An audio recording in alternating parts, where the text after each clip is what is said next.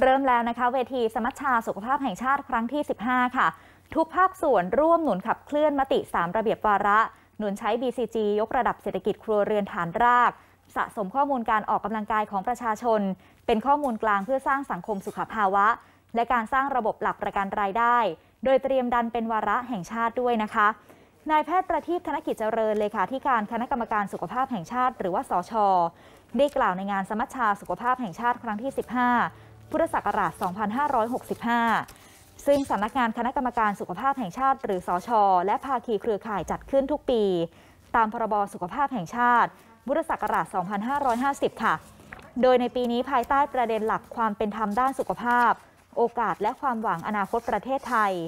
มีเครือข่ายสมัชชาสุขภาพทั่วประเทศเข้าร่วม ทั้งในรูปแบบออนไลน์และออนไซต์ โดยระบุว่ามี 3 ระเบียบวาระที่เข้าสู่การพิจารณาของสมัชชาสุขภาพแห่งชาติ คือการหนุนใช้ BCG ยกระดับเศรษฐกิจครัวเรือนฐานราก สะสมข้อมูลการออกกำลังกาย การเล่นกีฬาของประชาชน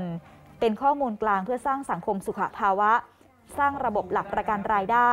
ดันเป็นวาระแห่งชาติ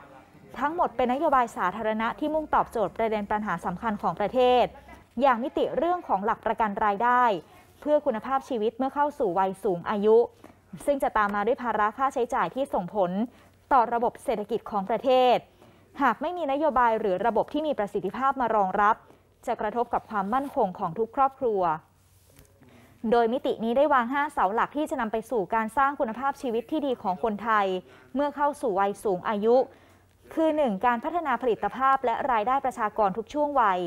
2. เงินอุดหนุนและบริการที่จำเป็นจากภาครัฐ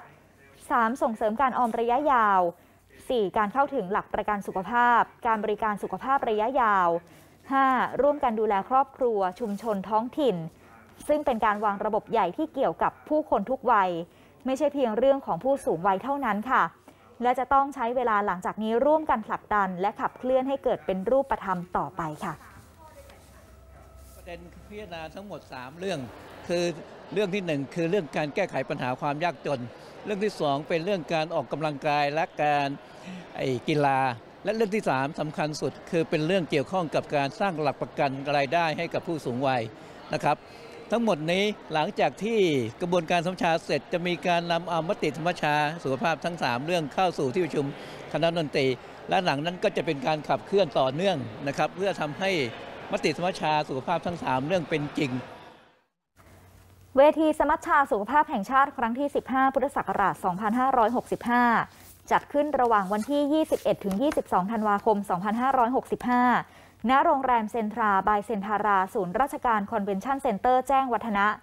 โดยนอกจากจะร่วมกันประกาศเจตนารมณ์และแสดงถ้อยแถลง เพื่อร่วมกันขับเคลื่อนมติทั้ง 3 ประเด็นแล้ว